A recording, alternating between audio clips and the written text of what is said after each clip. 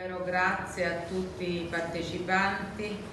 eh, per il contributo di idee che è stato dato a questo primo incontro che spero sia soltanto il primo eh, di tanti altri che eh, potremo organizzare insieme, a parte quello che saranno gli incontri di carattere tecnico che eh, sicuramente eh, noi porteremo in essere quanto prima.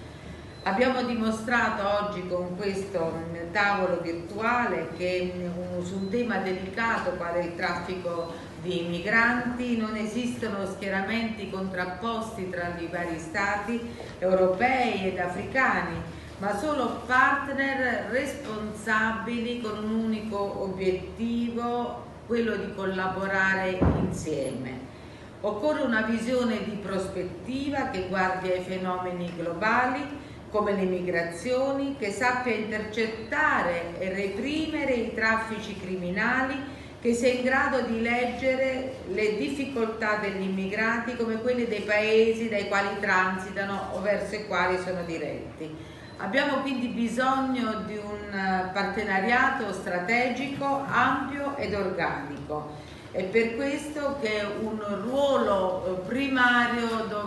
assumerlo la Commissione europea e quindi io davvero ringrazio la commissaria Johansson per l'attenzione che ha prestato a questi temi e la cui presenza al tavolo è fondamentale. Quindi ora per riassumere, secondo me noi dobbiamo intensificare la collaborazione di polizia, ehm, cercare di favorire forme di cooperazione operativa e sviluppare anche un'ampia possibilità di attività di comunicazione congiunta per lanciare campagne di informazioni sui rischi dell'immigrazione illegale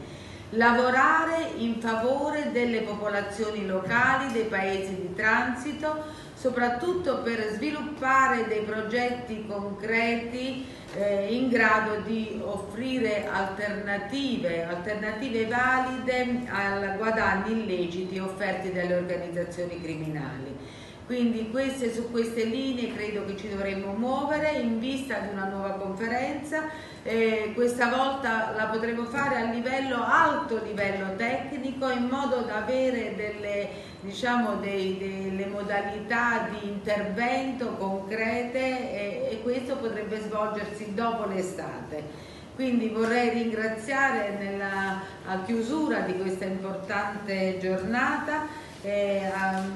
non soltanto un ringraziamento da parte mia ma anche di tutto il governo italiano per la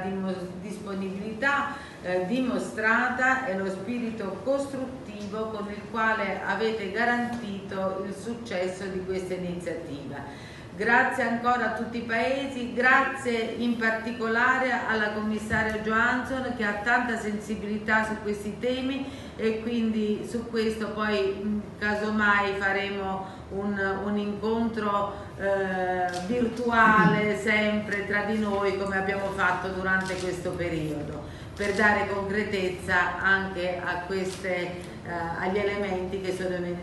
venuti oggi al tavolo.